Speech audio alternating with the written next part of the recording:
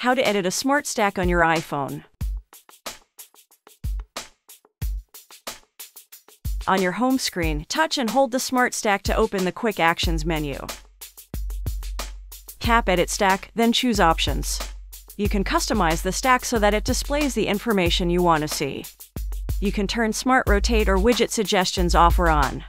When you turn on widget suggestions, suggested widgets for apps you already use automatically appear in your Smart Stack at the right time based on your past activity.